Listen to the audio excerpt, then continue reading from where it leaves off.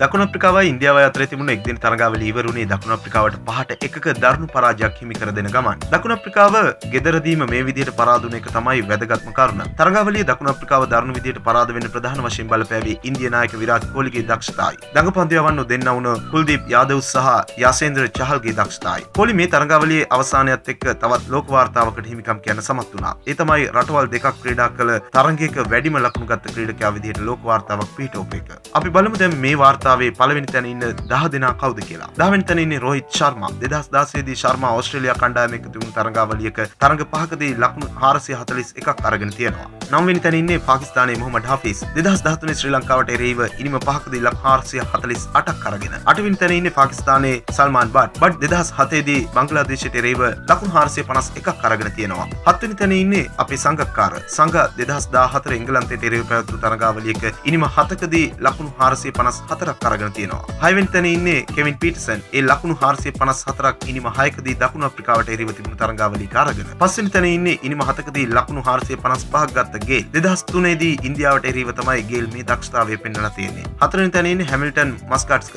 ඒ 2009 තිබුණු තරගාවලියක කෙන්යාවට එරෙහිව ඉනිම 5කදී ලකුණු 467ක් අරගෙන. 3 වෙනි තැන ඉන්නේ ජෝර්ජ් බෙලි. ඉන්දියාවට එරෙහිව තිබුණු තරගාවලියක ලකුණු 478ක් තරග 6කදී රැස් කරගෙන. දෙවැනි තැන ඉන්නේ රෝහිත් ශර්මා. ඒ 2016 ඕස්ට්‍රේලියාව එක්ක තිබුණු තරගයකදී එක්දින තරගාවලියකදී ඉනිම 6කදී ලකුණු 491ක් අරගෙන. පළවෙනි තැන නැත්නම් මේ ලෝක වාර්තාව හිමි කරගෙන තියෙන ඉන්දිය නායක විරාට් කෝලි අවසන් වුණු දකුණු අප්‍රිකා එක්දින තරගාවලියේදී තරග 6කදී ලකුණු 558ක් රැස් කරලා තියෙනවා ප්‍රථම ස්ථානයට එන්න. කෝලි මේ විදිහට එක්දින තරගවල හැම වාර්තාවක්ම තමන්ගේ නමට ලියාගනිද්ද කියලා තරමට කෝලි වාර්තා අතර ඉන්නේ මේ දවස්වල පුදුමාකාර දක්ෂතා පෙන්නුම් කරමින්. ක්‍රිකට් පිටියේ සිදුවන මෙවැනි සුවිශේෂී දේ බලන්න. ඔබ තාමත් අපේ channel එකට subscribe කරලා නැත්නම් දැම්ම වීඩියෝට පහළින් තියෙන රතු පාට බටන් එක ක්ලික් කරලා අපිව subscribe කරන්නත් යාළුවෙකුට බලන්න වීඩියෝ එක share කරන්නත් අමතක කරන්න එපා. තවත් අලුත් වීඩියෝකින් හමු වන තුරු ක්‍රිකට් ලංකා තුලින් ඔබට සුබ දවසක්.